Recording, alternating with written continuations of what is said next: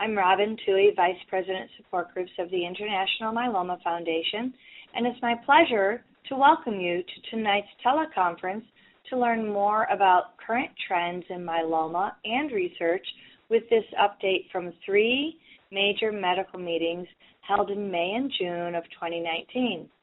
Dr. Brian Durie will explain what's new and exciting from the American Society of Clinical Oncology, ASCO, the European Hematology Association meetings, and the IMF's International Myeloma Working Group Summit. We thank our sponsors for supporting this educational program, Celgene and Takeda Oncology. If you've not yet had time to access tonight's slides, you can do so at myeloma.org. The slides are available to download so that you can print them out and save them and take notes on them. While Dr. Durie is presenting tonight, each of you will have control of and can advance the slides. Dr. Durie will let you know when to click and advance to the next page. All slides are numbered for your reference. At the end of tonight's presentation, we will open the lines for your questions. And now it's my pleasure to turn this call over to Dr. Durie to begin this informative teleconference. Dr. Durie?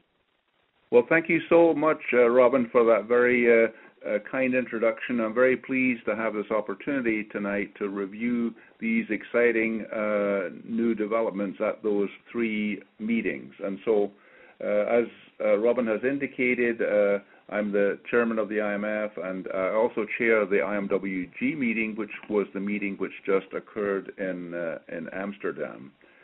We can go immediately to slide number three where I give an overview of what we will uh, cover tonight. So if you go to slide number three, recent abstracts, presentations, and publications, uh, the big focus will be on what were the new presentations at ASCO. As you'll see on slide three at ASCO, there were 210 uh, myeloma-related abstracts this year, of which eight were oral presentations, and I will touch on uh, many of the topics from those oral presentations. At the EHA meeting in Amsterdam, which followed right afterwards in early June, uh, there were a similar number, actually, 199 myeloma uh, related abstracts, of which there were 13 oral presentations. Uh, it was exciting to see that one of the um, presidential symposium abstracts this year was a myeloma uh, abstract, which was the abstract concerning the Cassiopeia trial, uh, which is daratumumab, Velcade, thalidomide, and dexamethasone, and that's one of the trials that I will touch on in more detail.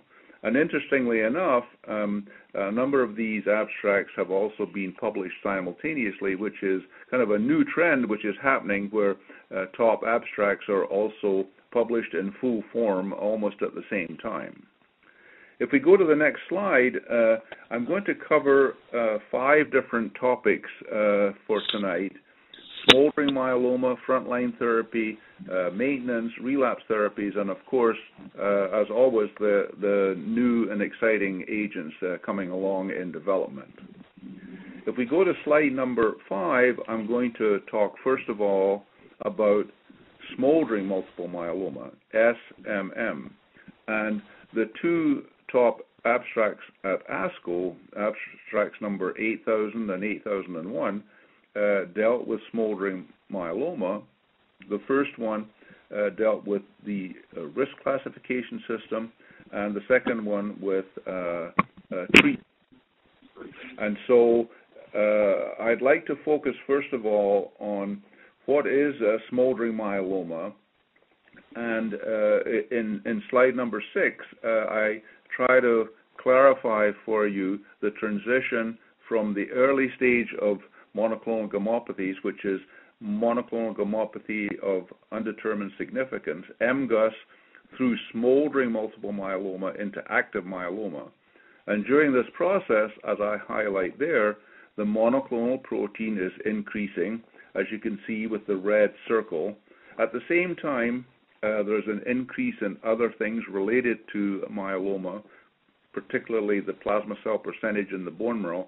what we call BMPC, bone marrow percentage plasma cells. And of course, ultimately, what we want to avoid are the CRAB features where there could be kidney damage or uh, anemia or bone issues. And so there has been a, an increasing focus on early diagnosis before uh, critical uh, damage occurs. And so the first thing that happened, if we go to the next slide, is that we started to look at what are the uh, predictors of progression.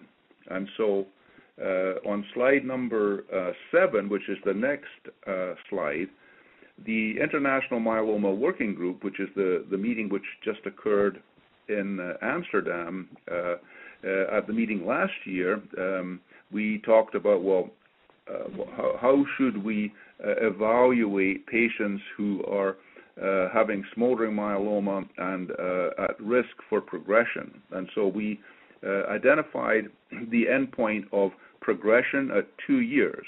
And so then we asked the question what are the parameters that allow us to predict if a patient with smoldering myeloma will progress to active myeloma within the first two years? And so we gathered together over 2,000 patients and asked that question. And the first thing that we uh, learned was that uh, using a very simple model, what we call the 2 2020 model, which is highlighted on the left of slide number seven, this turned out to be uh, a very reliable indicator of progression at two years. And so 20 is the free light ratio, 2 is the myeloma protein level, and 20 is the bone marrow plasma cell percentage. Uh, and so this is this is very simple. However, um, for individual patients, uh, often the numbers could be slightly higher or lower than those kind of cutoffs, and so we used a new um, logistic regression model, a, a, special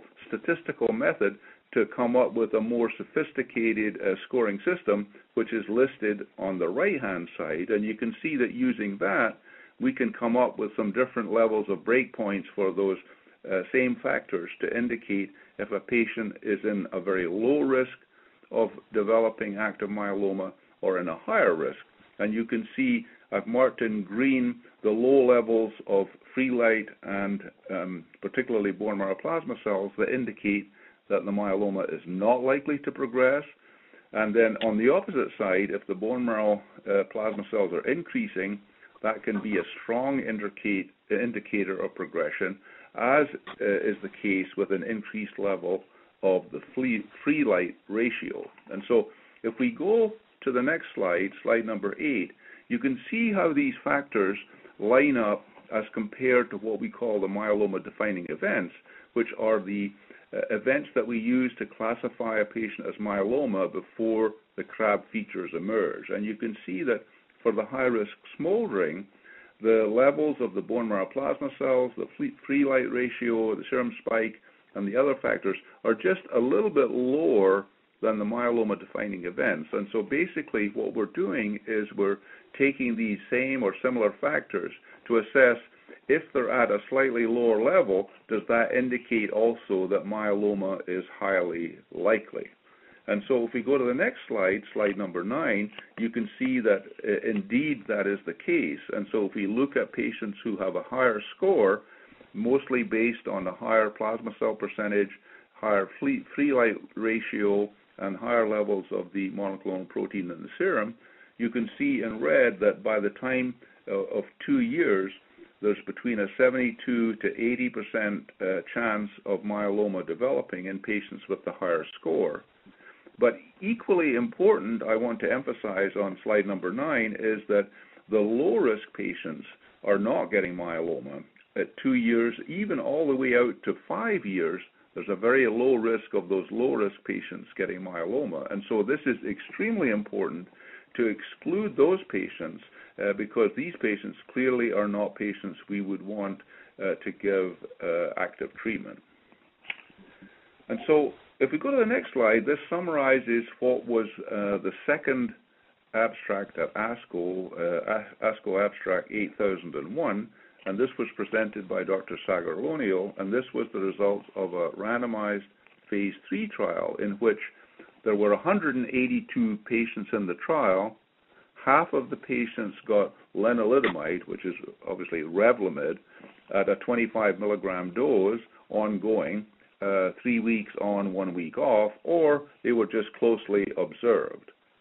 And so, uh, to, to summarize this very briefly on the next slide, slide number 11, that you can see using some older criteria, which they, they used the older criteria. This was before we had the new criteria. They used some older Mayo criteria. They classified the patients into high, intermediate, intermediate or lower risk patients. And so, what turned out to be the case was that patients taking the Revlimid had a significantly lower risk of progression. However, in the intermediate and lower risk patients, um, the, there was no uh, statistical uh, benefit. And so this is a very, very important point. Uh, it's also interesting that actually in this trial, uh, uh, unfortunately, only a, a, small fraction of the patients were truly high risk by these criteria and our new criteria. And actually, only uh, 29 out of the patients fell into that group, uh, of which you know half, which was 14, got the got the Revlimid. So so actually, although this was a fairly large study of 182 patients, only a small fraction fell into this very important group where we want to have the, the most information. Now, if we go to uh, what is a completely opposite approach, which is the the, the, the, approach that we are using in the Black Swan Research Initiative. On slide number 12, I give you the results from the CESAR trial, the, the, the, the um, Spanish trial, GEM, the Spanish uh, CESAR trial for high risk smoldering. And this falls into a similar classification. These are patients who truly do have high risk smoldering myeloma. And in this case, the patients are treated with therapy in a curative intent. And so these patients received a combination of Kyprolis, Revlimid, and dexamethasone, plus autologous stem cell transplant. So really quite the opposite approach to taking just Revlimid as a single agent. And so Dr. Mary V. Mateos from Spain uh, provided an update at the EHA meeting and this was uh, approximately a three-year update right now, a uh, little, beyond uh, 30 months. And as you can see on this slide number 12, overall survival 98%, and 94% uh, of the patients are still in remission. And I can tell you that um, over 60% of the patients uh, are MRD undetected or negative at the 10 to the minus 6, which is less than the 1 in a million level. And that actually, that number is actually increasing as the patients move forward from consolidation through to complete maintenance. And uh, I think that that number might reach as high as 70% ultimately MRD undetected uh, with this therapy. And so uh, this trial is similar to an ongoing U.S. trial, which is called the ASCENT trial, uh, which is KRD uh, with daratumumab added, and so we're uh, anticipating that this ongoing trial across the country will have even better results in terms of achieving MRD negative and long-term survival benefit. And so for smoldering myeloma, if we go to slide number 13, the next slide right now, I think it's uh, a very uh, important time to think carefully and review carefully what are the treatment strategies for uh, smoldering myeloma. And so I think that uh, what I would draw attention to is that we need to be uh, aware that yes, Revlimid as a single agent may be able to be used as a preventative to delay progression. However, it's not really a definitive treatment for myeloma and uh, I, I, personally do have some concerns just using a single agent that there, there could be emergence of resistance. And obviously, for a patient who has no symptoms, uh, there is this ongoing need for therapy. And actually, in the ECOG trial, uh, over half the patients, well, 51%, uh, ended up discontinu- discontinuing the treatment because of some side effects. Uh, also, since it's not a specific indication right now, uh, could be questions about reimbursement. Uh, And uh, as I mentioned in my last bullet, uh, we know already and was reported at ASCO there is already some increased risk of secondary malignancies with that approach. And so on slide number 14, I just show you what is the current, what we call algorithm, when should treatment be initiated. And so what is clear in blue on the left of slide number 14 is that if you have CRAB features or myeloma defining events, which is the plasma cells uh, 60%, the, the free light ratio at 100 or higher, and at least one, or uh, sorry, at least two MRI lesions, or more than one, at least two MRI focal lesions, then treat as myeloma. If it's less than that, then uh, one needs to discuss this carefully. Uh, a clinical trial, I think, is a very good idea right now uh, uh, just till, until we can assess what really is the optimal strategy for, these patients. But I'll be happy to take uh, whatever questions you, you might have related to, to these uh, current options. So if we move forward to my second uh, topic, which is the frontline uh, therapy, as I put on slide number 15, the key question is uh, can we improve on the VRD triplet? Right now, the standard of care for a newly diagnosed patient is the combination of Velcade, Revlimid, and Dex, a triplet therapy. And now, with updates at ASCO and EHA, and then with discussion at our IMWG summit in Amsterdam, there is interest in uh, particularly three new trial uh, data sets which can impact the decision. And so, as far as looking at triplets, uh, two key options are to substitute the Velcade with Kyprolis or with daratumumab. And those are the Forte trial and the MAIA trial. And uh, just by coincidence, just earlier this afternoon, the results of the MAIA trial which uh, was uh, daratumumab, Revlimid and Dex versus Revlimid and Dex, so a triplet versus a doublet. This was actually just today approved um, by the FDA as a frontline uh, treatment option. Uh, so uh, in in the uh, non-transplant setting, actually, but um, approved in the frontline setting. So this was very good news. The other combination that I'll talk about a little bit is the combination of daratumumab combined with VTD, uh, Velcade thalidomide dex, which is a combination frequently used in Europe uh, where the VRD is not, uh, or until recently was not available. Actually, VRD uh, was just recently approved in Europe based upon the SWOG 777 uh, results. So if we go forward, just to give you a little idea of what is the impact of some of those therapies, uh, the the Cassiopeia trial, which is DARA, Velcade, thalidomide dex versus the, the VTD. So what is the impact of the daratumumab? I highlight here uh, that on the left you have the DARA combination, and so uh, a higher number of patients achieving deep responses, and this translates, as I summarize at the bottom, uh, 33.7% MRD negative versus 19%, so much deeper responses with the four drug combination versus the triplet. If we go to the next slide, this translates into uh, longer remissions, longer progression-free survival, 92.7% versus 84.6% on the left there. And then uh, this is uh, on the right showing the impact of achieving the deeper responses stringent CR, which is similar to an MRD negative. As we have seen in other trials, it is interesting that if the VTD without the DARA works well for a particular patient and, and achieves a stringent CR, this is uh, obviously better than not achieving a, a, stringent CR. So in some cases, a triplet can have a, a good impact.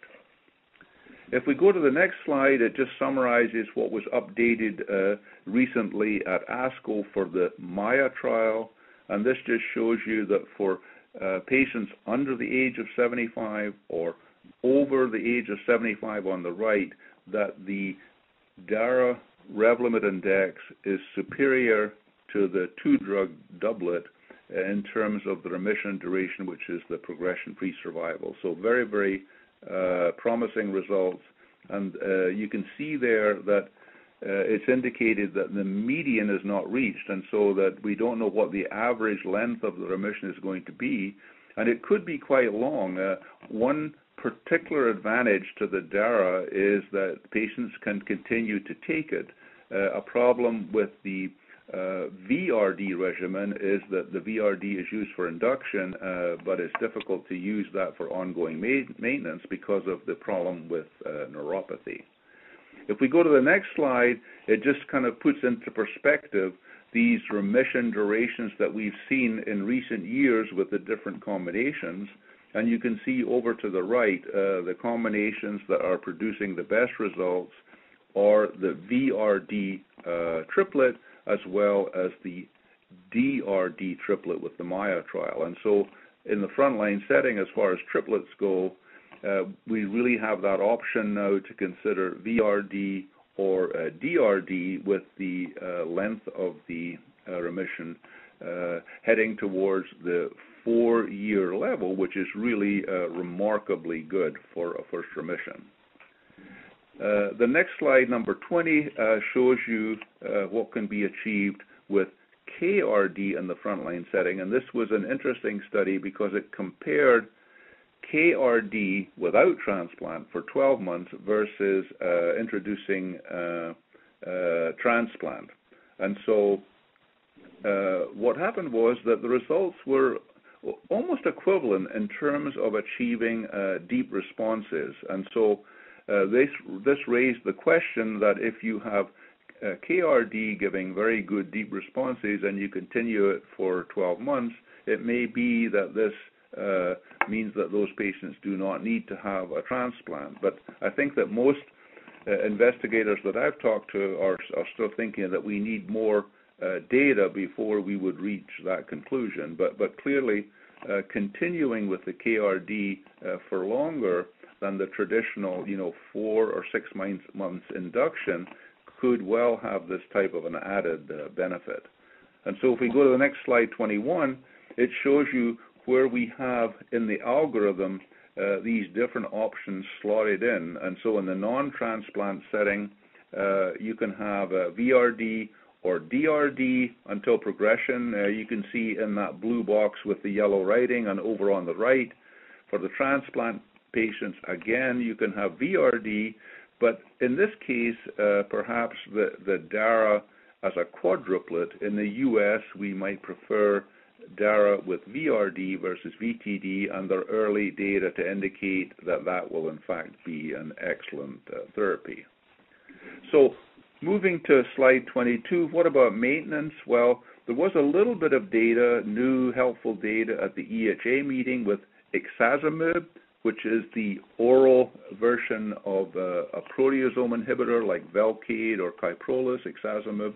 Uh, very, very uh, effective by mouth agent. And so on slide number 23, I show you results uh, from the German study group presented at the EHA indicating that patients receiving ixazomib maintenance had deepening of their uh, response uh, with the ixazomib maintenance. So this very much supports the use of ixazomib in the maintenance setting. Although we're all waiting for some ongoing trials because perhaps using ixazomib plus Revlimid, for example, could be the ideal uh, maintenance, but we're still waiting to, have data on that. But in the meantime, it's quite uh, reassuring to have this uh, extra data showing that there is an impact in terms of deepening response with ongoing maintenance. So moving into the next area um, is the relapse therapies, and then we'll finish up with the new therapies. But in the relapse therapies, quite a bit of new data uh, with different new agents, and I'll just go through those uh, a slide at a time. Uh, and so, if we go to slide number um, 25, uh, the first uh, data that have now been published, actually published in the New England Journal, show that elotuzumab, which was approved in combination with uh, Revlimid and Dex, is now uh, very effective in the combination with pomalidomide and Dex. And so this very nice study, uh, which was uh, published in New England Journal with Dr. Dimopoulos as the first author, shows that added benefit with elotuzumab as a triplet versus um, pomalidomide and Dex. So the triplet here better than the doublet again. And if we go to the next slide, Uh, and this was presented at ASCO this year by Dr. Paul Richardson, is isatuximab pomalidomide and dex versus pomalidomide and dex. What you can see here is that in this relapse setting, particularly for Revlimid refractory patients, then pomalidomide dex is kind of the standard, and we add to that to have a triplet that might be more effective. And you can see here is isatuximab, which is a monoclonal antibody very similar to daratumumab, so anti-CD38, similar to daratumumab, the combination of three drugs versus two drugs showing a similar uh, type of benefit. And the average length of the remission is uh, a little bit less than a year in those trials, 11.8 months or so. And then the next slide, uh, slide 27, shows another combination, in this case, daratumumab combined with carfilzomib and dex, and this is a, very uh, exciting combination with very uh, high response rates in patients who are both refractory uh, to lenalidomide as well as exposed but not refractory. And so deep responses at VGPR or better in around 70% of patients. So another triplet which is showing strong activity in the relapse setting. And an interesting point about the carfilzomib used in that regimen, if we go to slide number 28, is that it does seem that it can be used once weekly, even in frail patients. And so this was uh, presented uh, coming out of uh, three different studies, actually, uh, that carfilzomib on a once a week basis is well tolerated, even in frail patients with equivalent uh, benefit and uh, well tolerated in terms of different side effects. And so this is very good news because obviously once a week is much easier to use uh, for patients uh, versus the standard uh, twice weekly uh, regimen. So very, very good news there. And obviously, separately, uh, there are data published indicating that um, daratumumab um, by sub-Q in- injection has equivalent uh, benefit versus the IV, and so it's it's going to be uh, good to, to to have a combination where the um, the daratumumab, carfilzomib, and dex, the uh, daratumumab could actually be given uh, sub-Q, and the carfilzomib could be given uh, once a week. Okay, so moving to the, the next slide, number 29, I just summarize uh, the first relapse options now, and you can see breaking it down by uh, refractory to lenalidomide or not. You can see those options with uh, Revlimid and Dex, uh, Kyprolis, ex, uh, Ixazomib, or um, uh, elotuzumab, and then for patients refractory uh, to lenalidomide, the top options are uh, daratumumab, uh, Velcade dex, or daratumumab, uh, pomalidomide dex. Obviously, uh, also for patients who are not refractory, uh, daratumumab, Revlimid, and dex, uh, basically the MAIA regimen is, an excellent option. And so alternatives in the refractory setting are some of these combinations that I mentioned, uh, the elotuzumab, the Kyprolis, uh, ixazomib, uh, isatuximab, uh, and just pomalidomide dex if, that is what might be uh, feasible. So going to slide number 30. So how do we select and sequence these different new drugs? A lot of different options, and so it's it's becoming more difficult. But I want to highlight some of these newer drugs which may be options to be discussed with your doctor. And so if we look at slide number 31 now, active drugs in multiple myeloma, you can see over on the right I've indicated what are some of these uh, newer and future drugs that could be options uh, following on from uh, relapse uh, therapy. And I've highlighted in red over on the right uh, three um, uh, agents, the GSK, the AMG 420, and CAR T cells, as well as some of the other things that we have talked about and I'll touch on a little bit more. And so I want to finish up by talking a little bit about, uh, in addition to the recently approved drugs uh, such as ixazomib, daratumumab, and elotuzumab, what are these next level of drugs uh, which will really uh, start to have an impact and how will they contribute to uh, better outcomes? And so if we go to the next slide, I summarize the, new agents that I'm going to touch on the GSK molecule, the AMG 420 CAR T cells, and then three newer agents, the CELMoD agents similar to IMiDs, selinexor, and venetoclax. So if we uh, talk about the, the GSK uh, molecule first, this is um, a very uh, interesting molecule which is uh, actually frequently not discussed a lot, but I think is a, a particularly uh, important uh, antibody that was presented at ASH and has been uh, published actually, and then recently updated uh, the results of this DREAMM uh, trial, DREAMM 1 phases 2 and part 2, which I summarize on slide 33. And so, first of all, the GSK is a monoclonal antibody against BCMA, B cell uh, maturation antigen. And so this is a very popular target these days.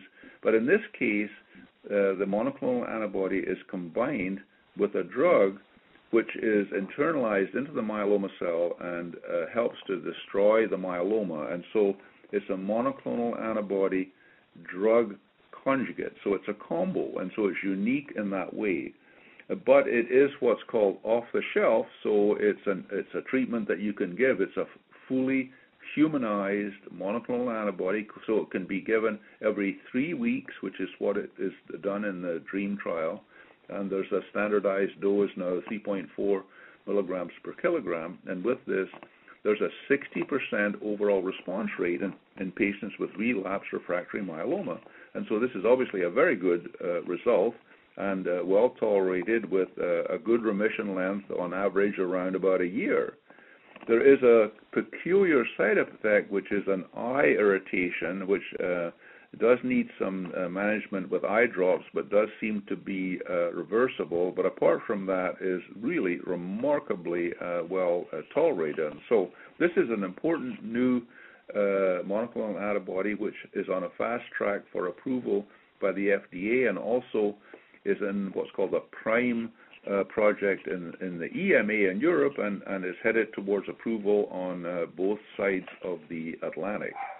If we go to the next slide, slide number 34, uh, this is just giving uh, an update of the AMG 420, which is also a monoclonal antibody against BCMA, but it, in this case it's bispecific, uh, which means that uh, the antibody binds to BCMA, but it also engages T cells, and so that's the BiTE part of it.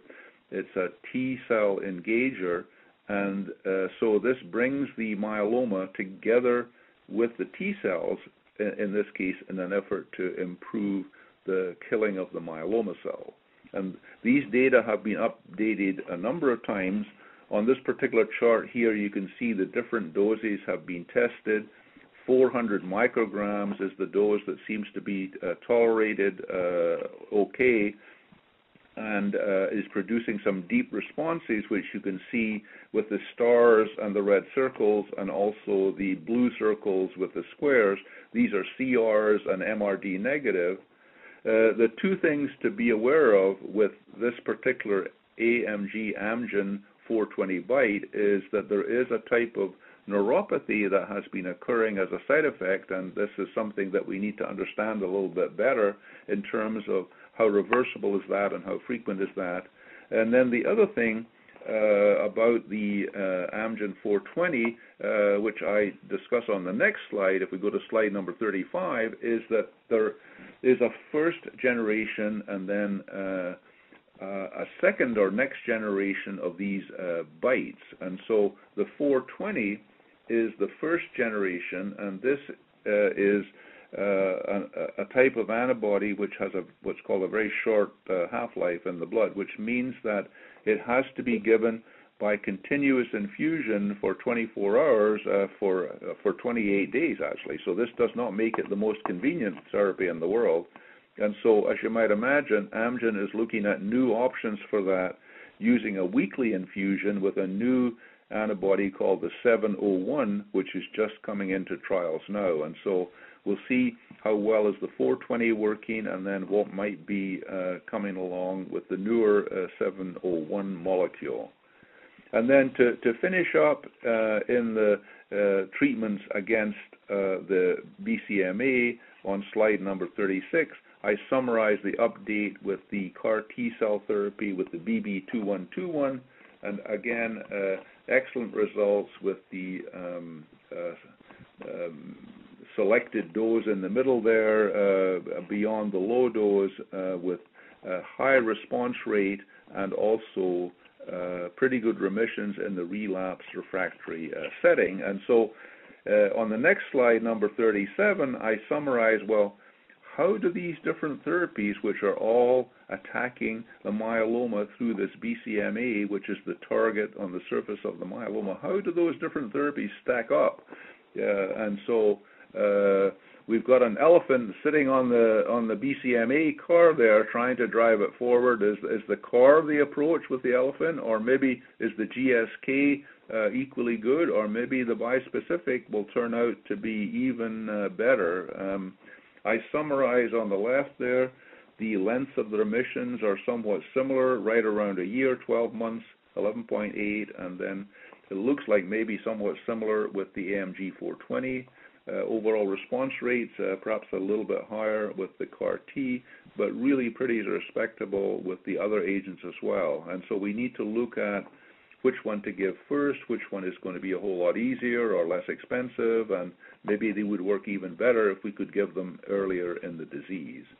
And so, uh, just to finish up on the last few slides here, slide number 38, this is summarizing a new IMiD type of molecule, which is called a CELMoD, which is called, uh, uh, well, iberdomide. It's CC220. And uh, the high point in this early study of 51 patients is that there was a 31 uh, percent response rate in patients who had previously received um, uh, IMiDs such as Revlimid or pomalidomide. And so uh, it's encouraging that this type of a CELMoD could be a next generation of a type of IMiD therapy. And then on the next slide, we had new data on selinexor, in this uh, case combined with uh, daratumumab, uh, very high response rate in patients uh, with uh, relapsing refractory disease, high response rate, 77% in patients um, uh, with relapse relapse disease. And so as we've discussed elsewhere, the selinexor is currently being reviewed uh, by the FDA, and it seems likely that it, can possibly get a thumbs up of approval from the FDA as a new approved uh, agent. And so, just to finish up on something that has been in the news, uh, and that is uh, the venetoclax. Uh, so uh, venetoclax is an agent uh, which is an anti-BCL2 therapy. BCL2 is uh, is something that um, uh, prevents uh, myeloma cells from dying, and so if you block BCL2, then cells uh, will be much more responsive to treatment. there was a problem, however, because the trial, the main trial with venetoclax, the Bellini trial, had a number of deaths. In fact, in, the, in this large trial, there were 41 patients who actually died in this trial, and 13 uh, were linked to therapy. Uh, this was associated with infection and, in some cases, with progression of the myeloma. And so, because of this, uh, the FDA actually put a hold on venetoclax trials in myeloma. Uh, the good news is that uh, th- this hold has just been uh, released by the FDA, and that's because at the EHA, an update on the Bellini trial was presented by Dr. Shaji Kumar, and he showed that there is both a, a remission, a PFS, and an overall survival benefit in patients who have the 1114 translocation, and that uh, so the additional deaths were, were not cu- occurring so much in those patients. They were occurring in patients in the trial who did not have the 1114 translocation. So this trial had patients with and without the, the special 1114 translocation. And so what the FDA has decided to do is to limit the ongoing trials to patients who do have the translocation 1114, uh, which are patients who do have high levels of BCL2 in the myeloma cell. And so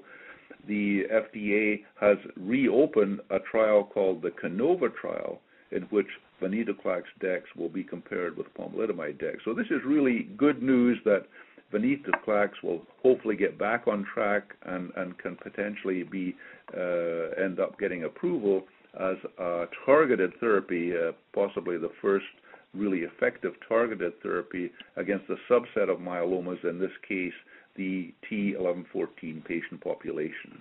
And so, in closing, I'll just raise some, some questions about these new therapies on slide number 41. So, what is the current perspective? You know, what are the top priorities? Which are the most promising? And I think what ends up being most important is that although we always want to have new drugs available in the relapse setting, we're looking for uh, new agents that can make an impact earlier in the disease, such as daratumumab, which has moved already up into the frontline setting. So we're always looking to see which of the new agents might be uh, effective and potent enough and well tolerated enough to be used earlier in the disease. And so we're looking at these anti BCMA therapies in particular to see which of those might be uh, well tolerated and even more effective if used earlier in the disease course. And so these are exciting times uh, moving forward. A lot of very, very good uh, and important results presented in these last few months with with excellent discussions at our IMWG summit in Amsterdam, trying to put together some of these recommendations that I've shown you with these different algorithms as how to manage the disease in the different disease settings. And so I'll close again by thanking our sponsors, Celgene and Takeda, and uh, open it up uh, for uh, questions uh, that uh, you, the listeners, might have. So thank you for your attention. Thank you, Dr. Durie. That that, like you said, it, it's such an exciting time, whether you're smoldering, frontline, or relapse, and, and all of the information you just provided is going to be so helpful to all our patients and caregivers. So I'd like to open up our lines for questions. Our first question comes from the line of Jock Ayello. Your line is open. So, Dr. Durie, thanks so much. Thanks so much for the presentation. Um, it used to be a couple years ago, let's say, that it was really, really difficult to get into a CAR T trial. But these days, there are quite quite a few CAR T trials. To get in one of the CAR T trials, right, and was qualified for more than one. Can you give some advice to the patient as to maybe what should they look for in terms of assessing one trial versus the other, or should should they just pick something most convenient for them? Right. Uh, so uh, this is a very important uh, point, uh, Jack. Uh, so the good news is that there are a, a number of uh, CAR T trials open or opening right now, so that there are quite a few options, which which which is good. Um, however, um, the intrinsic problem with the CAR Ts are that um, it takes time uh, for the engineering uh, to, develop the CAR Ts to give back to the patient, and uh, in some cases, the, whole thing doesn't work. And so, the first thing I recommend is to go to a center where there are backup options available. For example, the GSK uh, monoclonal antibody is an off-the-shelf uh, agent, and so uh, it's quite good if um, if if the CAR T's uh, not working, then uh, or excuse me, if the CAR T uh, is is delayed and and the patient is progressing while they're waiting to get the CAR Ts, then the GSK would be available as a as a backup option. Now. Uh, right now, it's hard to say, and I, I, was comparing them to know which of the of the BCMA uh, products are going to be the most effective with that same target. Um, and uh, it's it's it's just uh, it's just too uh, soon to know. I, I think that yeah. for some of the there are a number of very new CAR Ts against different targets, and I think that I would be definitely more uh, cautious about those. And so I would I would be looking at CAR T against BCMA or uh, for the time being, the GSK or, or the BiTEs, the BCMA BiTEs, the 420 or the 701 which is coming online. But I think that right now it is helpful to go to a center where there are um, these different options available, uh, which you can discuss with the treating doctor about what might be most su- suitable in, in, a particular case. Thanks so much. Okay. Thank you. Our next question comes from the line of Fern Shalero. Mr. Shalero, your, your line is open. Thank you. Thank you, Dr. Durie. I appreciate all of your um, knowledge and uh, help. When do you uh, think daratumumab will get approved in the sub-Q uh, form? What, what's uh, realistic? Well, I would think relatively soon, uh, possibly before the end of the year. Um, uh, the Janssen company are having a pretty good track record. As I said, they got daratumumab Revdex approved today by the FDA, and so I can assure you that they are pushing very hard. Um, the trial, which shows the equivalence of the sub-Q versus the IV, is you know ready for FDA review, and so uh, I think we're all kind of expecting that with with some sort of a rapid uh, review, it could be uh, certainly within six months, uh, maybe you know as soon as the fall. But um, uh, with the FDA, I guess you never know. But um, I think we're all expecting it to be relatively soon. I, I, realize that um, for most patients it couldn't be soon enough. You know that right, you would like to start tomorrow. well, thank you so much. Thank you. The next question comes from the line of Raymond Sikora. Your line is open. Okay, uh, thank you, uh, Dr. Durie. I'm uh, very thankful that you have these web conferences. They're very useful for both my current and future treatments.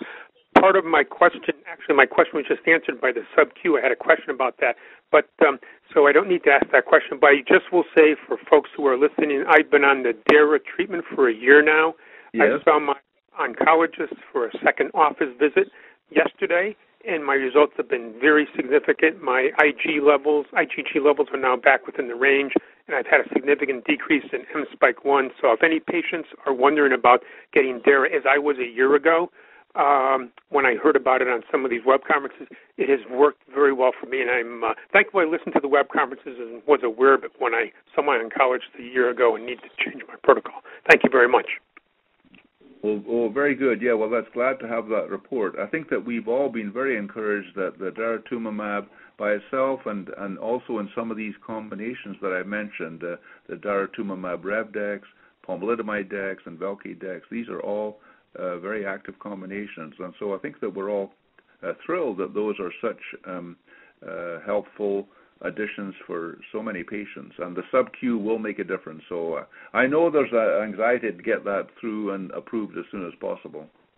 Yeah, I just oh, should, should say I'm on the DARA, POM, and DEX combination, not just the DARA alone, but it has been very successful for me. Thank okay, you. well, thank you. Okay. Thank you. Our next question comes from the line of Steph- Stephanie Diamond. Your line is open.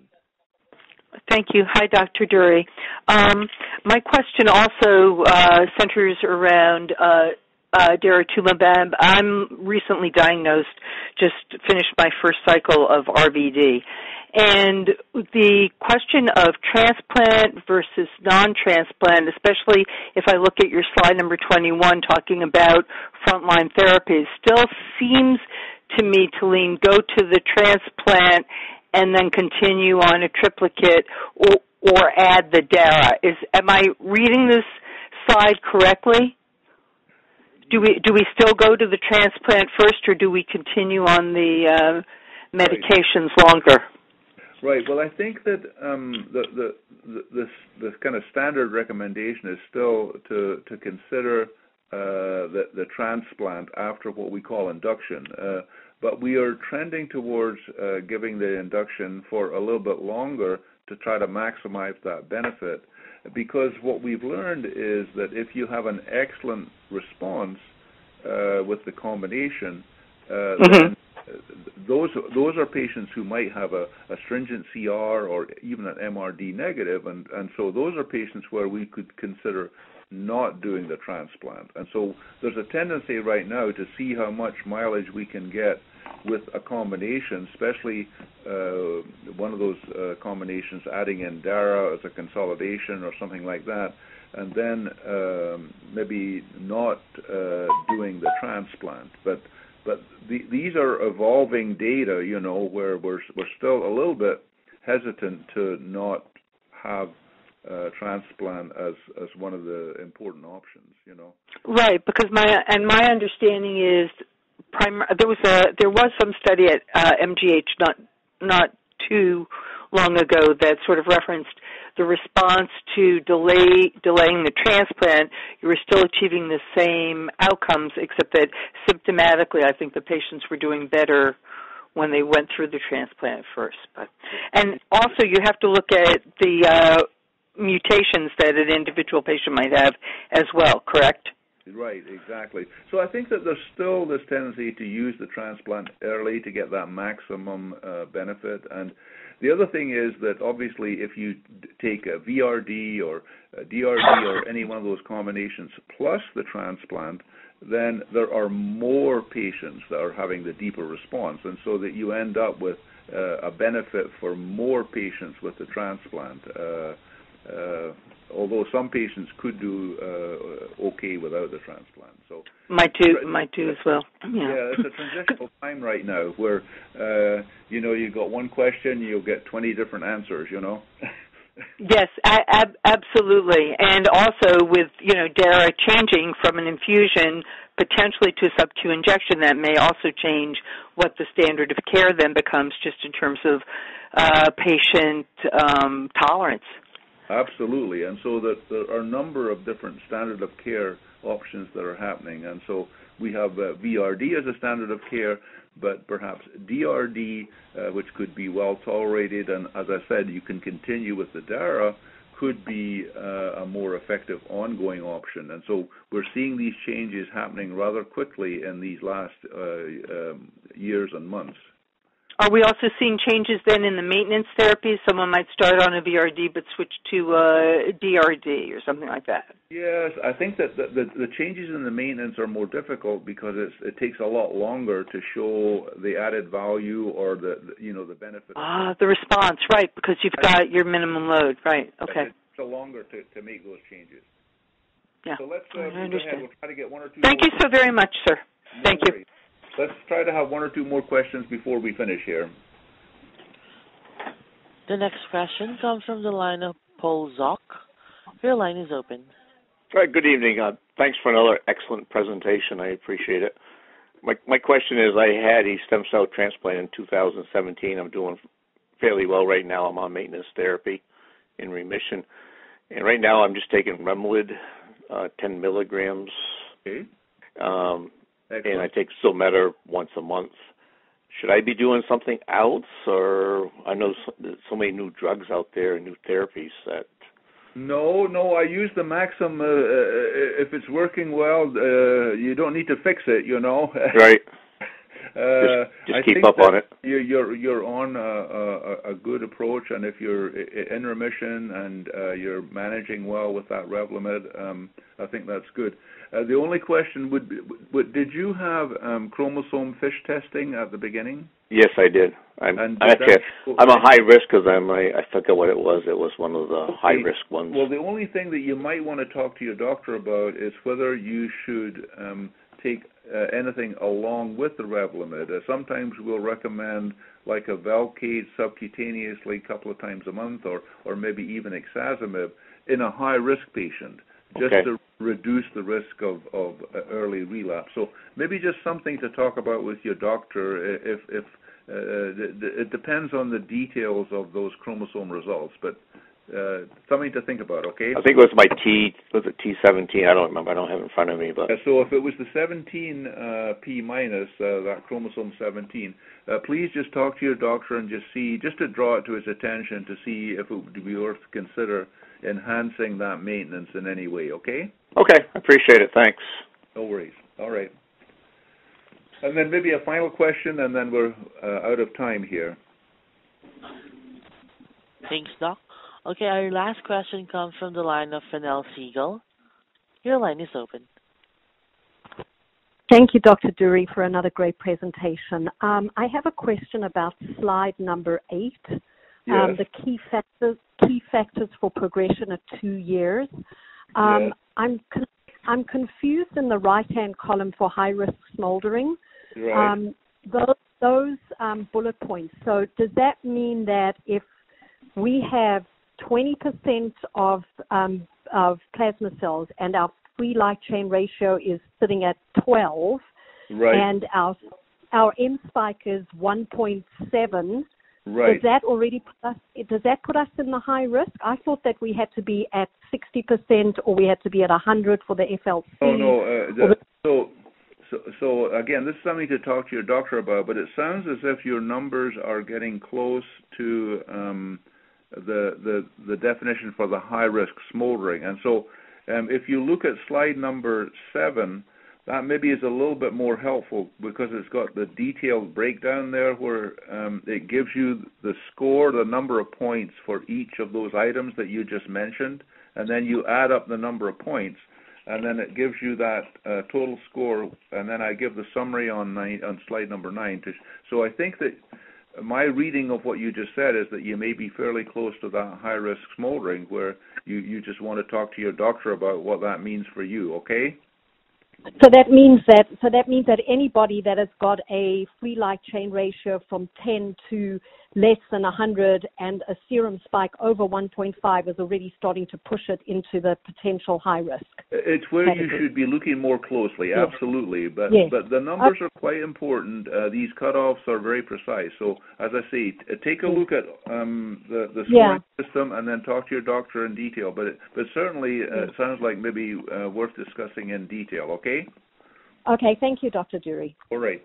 Thank you for that question. So thanks to everyone for your active participation tonight. And so I'm going to turn it back over to uh, Robin for final comments. We really appreciate people being involved with the call today. Well, thank you so much, Dr. Durie. And I'd like to remind our participants that this teleconference tonight is being recorded and can be accessed for replay on the IMF website at myeloma.org. And so we also would like to mention that if you have additional questions, don't forget about the IMF info line at 1 800 452 2873.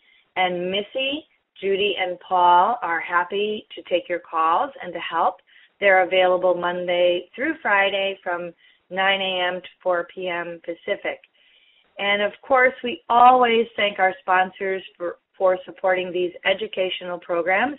And tonight we thank Celgene and Takeda Oncology. And once again, thank you, Dr. Durie, and especially all of those on tonight's call. We hope this has helped you to better understand updates in myeloma so you can have good conversations with your myeloma experts at home. So that does conclude this evening's conference call. Thank you, everyone, and have a wonderful evening. Yes. Thank you all. Have a great evening.